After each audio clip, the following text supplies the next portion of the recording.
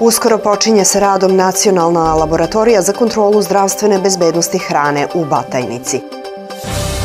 Još uvijek nije postignut dogovor između malinara i hladnjačara o problemima koji prate proizvodnju tog voća. U okviru programa Evropske unije za ruralni razvoj Srbije predviđeno 175 miliona evra do 2020. godine. Upravo ste čuli najvažnije naslove za danas. Ostanite uz nas jer vas u nastavku očekuju opširnije informacije o ovim i drugim zanimljivim temama. Dobrodošli u Agrodan.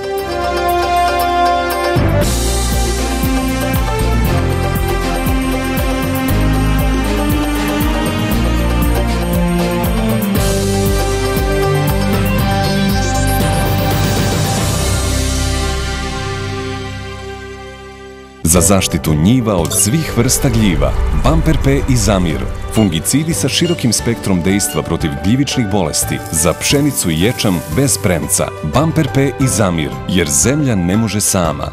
Adama,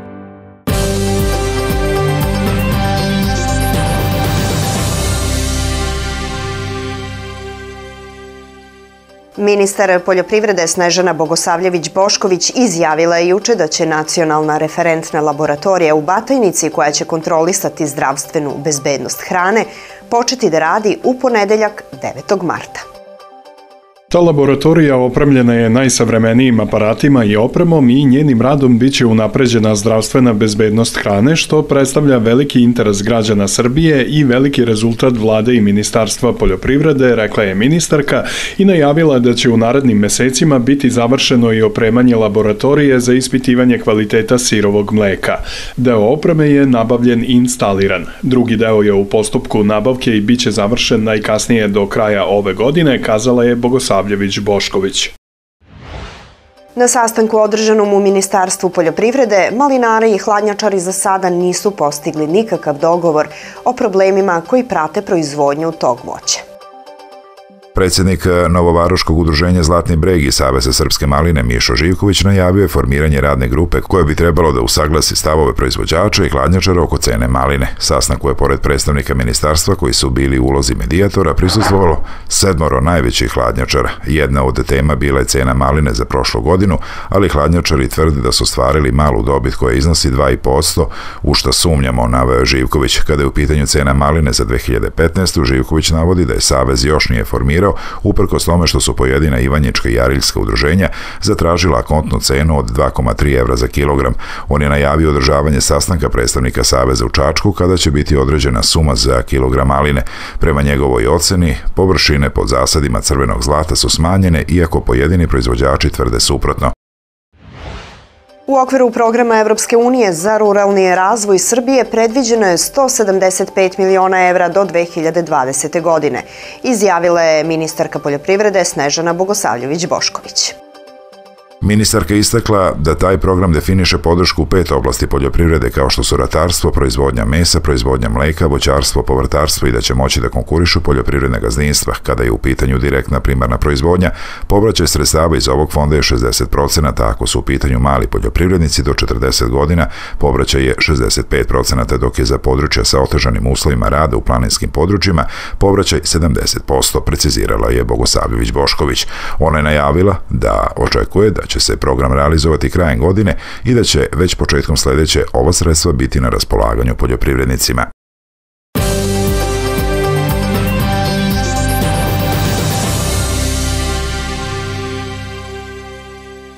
U produžetku emisije imat ćete priliku da saznate i o sledećem.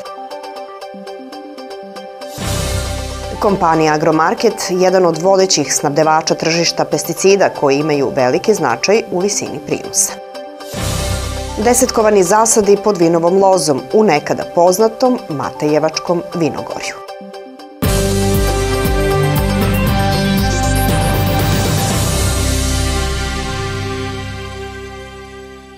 Biljna proizvodnja u svetu bez mera zaštite bilja i primene pesticida ostvarivala bi samo oko 30 od potencijalnih prinosa – Kompanija Agromarket je jedan od vodećih snabdevača tržišta pesticida sa distributerskim udelom od oko jedne trećine celokupnog tržišta Srbije.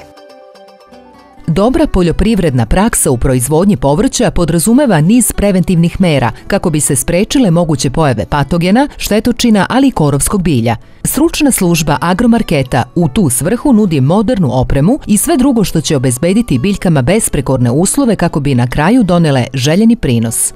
Ne sme se štedeti ni na čemu jer svi ti detalji su sitnice koje su zapravo investicije, a ne trošak u proizvodnji počev od vrhunskog kvaliteta pokrivke na objektu, mora da bude nova, čista folija, preporuka je Ileri Plastik, folija koja se nalazi u distribuciji agromarketa, etilen vinil acetat folija EVA, koja ima jako veliku transparentnost, znači providnost, propušta 91% svetla, filtrira ultraljubičasto štetno zračenje i tako dalje. Ima sva ona svojstva, 7-8 svojstava važnih za tu plasteničku proizvodnju i vrlo je bitno da se mlade biljke nađu u jednom takvom ambijentu i prostoru. Povrtarstvo je vrlo osetljivo s obzirom na veliki broj postupaka koje imamo u proizvodnji od e, semena do rasada i rasađivanja, te je stoga vrlo značajno da se objekat u kome se izvodi ove mere i dezinfikuje e, sredstvima i naravno izvrši vlažna dezinsekcija objekta u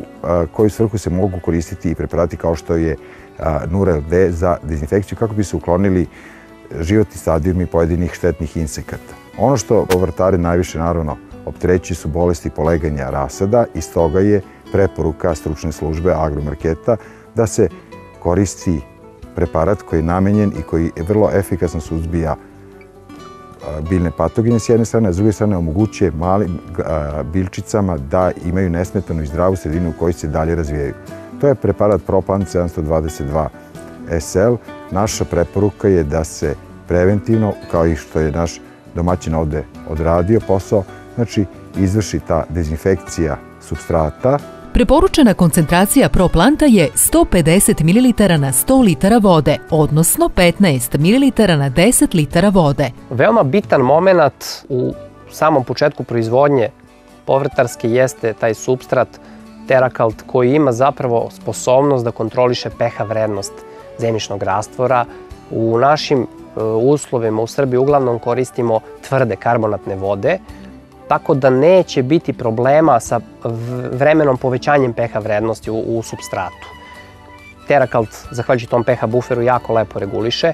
Dalje, posjeduje okvašivač, jako lepo se kvasi nakon totalnog sušenja, što smo malo čas videli, potapanjem ovih kontenera ima u sebi izbalansiran odnos hraniva gde je naglašen sadržaj fosfora i kalijuma, azota ima manje. Radi boljeg klijanja i nicanja važan je značaj ujednačene setve, što u mnogome zavisi od kvaliteta substrata – Kako još uvek ima povrtara koji u proizvodnji koriste stajsko đubrivo, stručni tim agromarketa preporučuje još jedan jači koktel radi što bolje preventive protiv bolesti raznih štetočina. A to je kombinacija 15 ml proplanta, 6 g preparata Vostonik i 10 g preparata Funomil na 10 litara vode. Ovom kombinacijom stvaramo idealnu sredinu u kojoj se dalje razvijaju mlade biljičice. Od 3014 poljoprivrednih gazdinstava u Prijedoru, koliko ih je bilo registrovano u oktobru 2013. godine, samo 747 obnovilo je upis u registar, odnosno registrovalo komercijalno ili nekomercijalno poljoprivredno gazdinstvo do oktobra 2014. Pretpostavka je da ovako nizak broj registrovanih gazdinstava leži u primjeni zakona o doprinosima koji nije usklađen sa ostalim zakonskim rešenjima koje bi trebalo da regulišu i prava po osnovu datih obaveza u poljoprivredi na adekvatno ostvarivanje penzionog staža i zdravstvenog osiguranja, navodi se u udeljenju za privredu i poljoprivredu grada Prijedora. Od ukupno realizovanih sredstava najveći deo izdvojen je za posticaje u poljoprivrednoj proizvodnji, sredstva namenjena voćarskoj i plasteničkoj proizvodnji kao i regres za obnovu mehanizacije. Realizovani su u planiranim planiranim okvirima ugovorene obaveze prema protivgradnoj zaštiti Republike Srpske izmjerene su u potpunosti iako je 2014. usled vremenskih nepogoda bila izuzetno teška za poljoprivrednu proizvodnju. Nedavna slava vinogradara Sveti Trifun obeležila je i prvu rezidbu u vinogradima ove godine u selu Donji Matejevac kod Niša. Nekada poznato Matejevačko vinogorje sada ima desetkovane zasade pod vinovom lozom. Ipak na tradiciju se nije zaboravilo, ona se nastavlja, primjer za to su dve preduzimljive i vredne sestre Maja i Lidija Živanović koje su ostale da rade na selu i među prvima izrazile želju da prošire svoju delatnost. savršeno dobra prilika da pokažemo mladim ljudima da se na selu i tekako može lepo živeti, da selo ima tradiciju koja može da se nastavi, koja je veoma isplatljiva i da se u tome može uživati. Pre sedam godina tradicionalni zasad vinove loze porodica Živanović obnovila i pretvorila u savremeni opremljen vinograd koji prati sve potrebne standarde. Uradili smo ovaj novi vinograd po svim standardima sa e, tim sistemom za navodnjavanje, sa vinskom sortom Chardonnay koja je nadaleko kvalitetnija i poznata ljudima koji uživaju u dobrom belom vinu. Cela porodica uključena je u radove u vinogradu, svako od ukućana ima svoj deo posla, mada kada se radi o težim poljoprivrednim poslovima, otac je glavni. Moram da priznam da je otac glavni nekako, e, jer su poljoprivredni radovi takvi da zahtevaju muškarce u radu, ali kada su berbe i kada su tako neki lakši poslovi, naravno svi smo uključeni. Jer svi uživamo u dobrom vinu, pa zato moramo i da se nađemo tu kad su radovi u polju. Ovo jeste jedna grana našeg grada, Moja sestra i otac se malo više bave proizvodnjom stočne hrane. Ja se pre svega bavim selekcijom životinja, a vinograd nam dođe kao jedan lep hobi u oblasti poljoprivrede. Strukture lokalne samuprave ulažu napor i sredstva da se uzdignu novi zasadi i da se pruži prilika mladima da pronađu sebe u tom poslu i tako ostanu na selu. Matejevačko vinogorje kao deo Nišavskog vinogorja je nastavilo da postoji, ono postoji danas i priličan je broj ljudi koji još uvek neguje vinogradarstvo. Nažalost, to možda nije onoliki broj ljudi koliki je bio nekada, ali se mi trudimo da na svaki način u saradnji sa upravom za poljoprivredu i sa svim drugim relevantnim instancama pomognemo kako bi što više mladih ljudi počelo da se bavi vinogradarstvom. Nekada jedno od najznačajnijih vinogradarskih krajeva Niško vinogorje polako se oporavlja pa bi u budućnosti moglo ponovo da postane prepoznatljivo po kvalitetnim i pitkim vinima. Ljudi ovde koji se danas bave vinogradarstvom imaju, e, naučili su mnogo toga od svojih predaka, postoje stariji ljudi koji na vrhunski način uspevaju da, da, koji uspevaju da proizvedu vrhunska vina i sigurno je da njihovi naslednici imaju od koga šta da nauče i da će jednoga dana vina koja se ovde proizvode, kad ih bude bilo u malo većoj količini, sasvim sigurno pleniti pažnju mnogih enologa i ljubitelja vina širom Srbije, a možda i širo toga. Uprava za poljoprivredu ove godine samo za nabavku sadnog materijala izdvojila je 20 miliona dinara. Interesovanje za javni poziv je ogromno, a Matevčani su među najbrojnijima.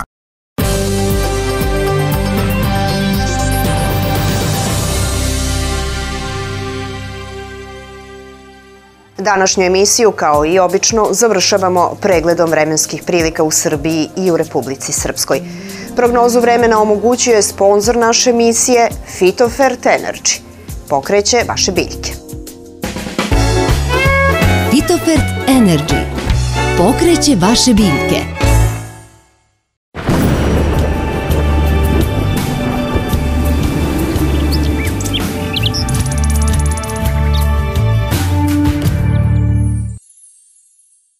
Danas u Srbiji oblačno sa kišom u brdsko-planinskim predelima sa obilnim snegom. U toku jutra u većini krajeva kiša će preći u susnežicu i sneg, duva umeren do jak severoistočni vetar, naročito na području Vojvodine. Temperatura tokom dana od 0 do 6. Na jugoistoku Srbije i do 11 stepeni Celzijusa. Očekuje se pojava i snežne mećave.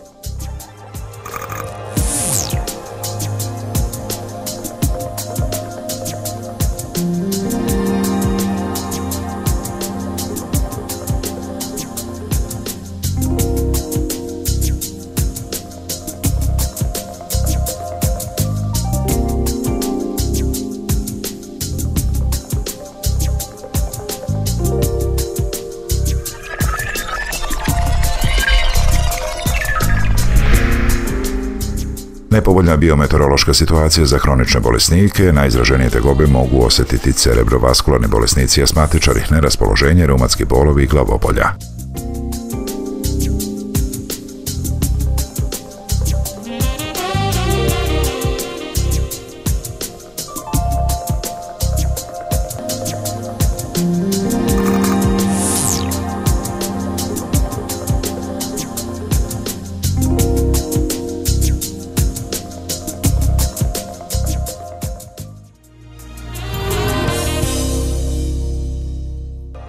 Petak i za vikend u Srbiji oblačno i prohladno sa susnežicom i snegom, naročito u centralnim, južnim i u brdsko-planinskim predelima. U nedelju na severu postepeni prestanak padavina maksimalna temperatura od 1 do 7 stepeni. U ponedeljak u većini krajeva suvo i malo toplije. Očekuje se naglo otapanje snežnog pokrivača.